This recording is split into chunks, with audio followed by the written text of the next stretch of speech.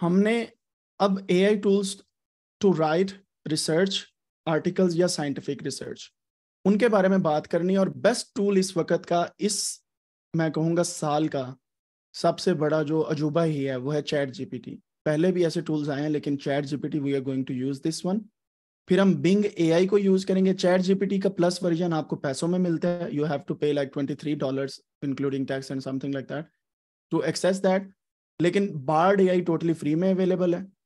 Ping ए भी free में available है। परप्लेक्सिटी ए भी फ्री में अवेलेबल है। गिट हब को पायलट अगर आप स्टूडेंट है, आपको फ्री में मिल जाता है। को पायलट अभी आने वाला है माइक्रोसॉफ्ट का।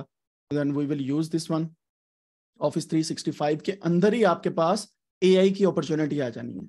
यानी कि माइक्रोसॉफ्ट वर्ड के अंदर आपके पास एआई की अपॉर्चुनिटी आएगी। देन गिट हब को पायलट चैट है which is useful for those people जो डेटा एनालिसिस करना चाहते हैं या डेटा को एनालाइज करना चाहते हैं यूजिंग पाइथन और अदर लैंग्वेजेस आर भी इसमें इंक्लूड है। तो हम chat GPT Bard Perplexity Bing AI ये चार मेजर टूल हैं जो लैंग्वेज मॉडल के तौर पे यूज़ होते हैं। इनको यूज़ करते हुए डिफरेंट किस्म की एप्स को यूटिलाइज करेंगे इसके साथ and then we will learn how to write a research article और आज हम एक नमूना तैयार करेंगे डिफरेंट चीज़ों का।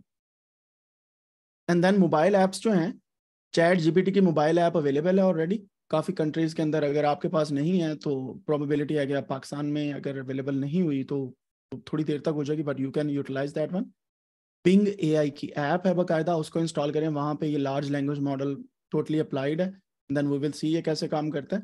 परप्लेक्सिटी डॉट ए आई ये टोटली फ्री चैट जीपीटी का ही वर्जन है which is available online without any cost so you can download these three apps if you want और आप इसी मोबाइल के ऊपर ही बैठे बैठे रोज़ाना की बेस पे अपना ट्वीट भी बना सकते हैं, अपने लिंकड पोस्ट भी बना सकते हैं, जिसके बारे में मैंने स्टार्ट में ज़िक्र किया था to increase your digital appearance और इन टूल्स को अब हम यूज़ करेंगे and I will show you कि कैसे आपने इनको यूटिलाइज करते हुए डिफरेंट ब्लॉग्स या डिफरेंट किस्म के ट्वीट्स बनाने हैं राइट अभी नेक्स्ट लेक्चर के छोटे से पार्ट के अंदर हम ये देखने वाले हैं कि पहले ट्वीट कैसे बनाना है, फिर हम चलेंगे लिंकड का ब्लॉग कैसे बनाना है डिजिटल अपीयरेंस के लिए फिर हम चलेंगे एक पेपर कैसे लिखना है इसके ऊपर, ठीक है? तीन पार्ट्स होंगे हमारे अगले लेक्चर के।